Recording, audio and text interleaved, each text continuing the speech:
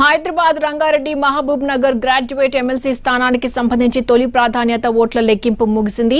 ఏడో రౌండ్ ఫలితాలు వచ్చాయి. ఏడో రౌండ్లో టీఆర్ఎస్ అభ్యర్థి సురభి వాణికి ఆరు వేల తొమ్మిది వందల డెబ్బై తొమ్మిది ఓట్లు వచ్చాయి. బీజేపీ అభ్యర్థి రామచంద్రరావుకు ఆరు వేల ఐదు వందల ఎనభై నాలుగు ఓట్లు ప్రొఫెసర్ నాగేశ్వర్కు మూడు వేల నూట అరవై ఓట్లు వచ్చాయి. ఇప్పటి వరకు టీఆర్ఎస్ అభ్యర్థికి మొత్తం లక్ష పన్నెండు వేల ఆరు వందల ఎనభై తొమ్మిది ఓట్లు వచ్చాయి.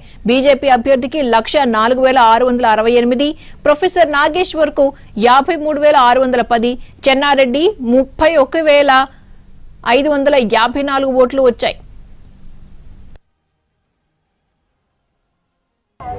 సిస్టమ్ కూడా బాగుంది. మీరు అనుకున్నారు ఎందుకు లేట్ అవుతుంది? ఎందుకు లేట్ ఎందుకు అవుతుంది? మీకు తొందర ఉంటే నేను చేస్తాను? ప్రాసెస్ ఎట్లాంటిది? మన తొందర కావు కదా. గొంతు పోయింది చూడు. మన తొందర కాదు ప్రాసెస్ ఎట్లుంటుంది అది. ఎలిమినేషన్ ప్రాసెస్ లెంది ప్రాసెస్ ఓకే ఫస్ట్ ప్రయారిటీ ఓట్లలో ఇంత వస్తుందని ఎక్స్పెక్ట్ చేశారా? ముందు నుంచి? ఎవరు? నేనా? ఎస్ గెలుస్తాననే కదా ఎవరైనా పోటీకి వచ్చేది. కాన్ఫిడెన్స్ లేకుంటే ఎట్లా వస్తాం సో మరి టఫ్ నడిచింది కదా. అంటే సెకండ్ ప్రయారిటీ ఓట్లు మీకు వచ్చే అవకాశం ఉంది అనుకుంటున్నారు ఎస్ ఐఎమ్ కాన్ఫిడెంట్ బాధ కలుగుతుంది. చదువుకున్న పిల్లలు కదా?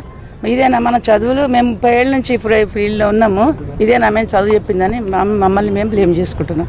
I'm feeling very bad twenty thousand words waste అయిపోయినాయి. పిహెచ్డీ చేసినోడు పీజీ చేసిన వాళ్ళు ఆల్రెడీ ఉద్యోగం చేస్తున్న వాళ్ళు వీళ్ళందరూ చదువుకున్న వాళ్ళే ఏదో బరదు బైతులు కాదు వీళ్ళంతా. We're feeling bad we have to improve quality isn't education చేసేటప్పుడు కూడా మొదటి ప్రాధాన్యత ఓటు మాత్రమే వేయాలని చెప్పేసి చాలా వరకు చెప్తున్నారు. అవును. ఇప్పుడు రెండో ప్రాధాన్యత ఓటు కూడా లెక్కిస్తున్నారు కదా దానివల్ల మీకు ఏమైనా ఇబ్బంది కలిగే ఏమవుతుంది? ఎందుకు ఇబ్బంది అవుతుంది? గెలవడం ముఖ్యం అబ్బా. చాలా సాయంత్రం మాట్లాడుకుందాం ఇంకా. మంచిగా ఇంకా చాలా మరి. ఎవ్వరు నా లోపలికి ఫోన్ ఏది నా దగ్గర? చేస్తాను ఎవరితో మా కాంటాక్ట్లో లేను. నిజంగా చెప్పాలంటే నేను ఎవరితో కాంటాక్ట్ లేను. Nobody is coming to me మిమ్మల్ని కూడా నేను రమ్మనిస్తాను ఇప్పుడే మాట్లాడుతాను మొన్న చూస్తాను కదా నేను మాట్లాడాను అంటే పని చేస్తున్నప్పుడు కాన్సన్ట్రేటెడ్ హండ్రెడ్ పర్సెంట్ ఉండాలి మనం. ఫోకస్ ఉండాలి. తప్పకుండా.